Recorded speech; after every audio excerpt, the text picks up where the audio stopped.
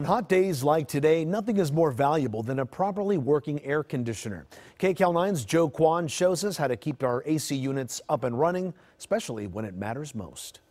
Alex Seedman woke up this morning to 90 degree heat inside his apartment here in West Hollywood. The bed was completely like drenched in sweat and so gross. He had plans to sleep in today on his day off. I tried to sleep through it. I tried to like ignore the fact that I was like sweating. But Alex reached his uh, boiling point, got up, and figured out his AC was busted. Penny was not happy about it. My like poor dog is like glaring at me. Over in Arcadia, Ed Ray also woke up to a hot house. Yeah, the heat woke us up. This morning, just outside his house, this thermostat kept going up and up and up. He called up AirTech Heating and Air Conditioning. They sent a guy out here within an hour or two, and they diagnosed it as the fuse is being blown. Manager Rod Rodriguez says the most common AC call is for dirty filters. We uh, highly recommend to change your filter um, every three months. A clogged drain pipe is another usual suspect for AC issues.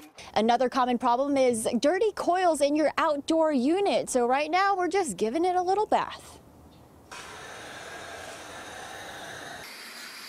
I'll leave it to the professionals. The pros won't be able to get to Alex and Penny's place until tonight to fix the AC. Alex says he's thankful for this temporary AC unit that he was provided.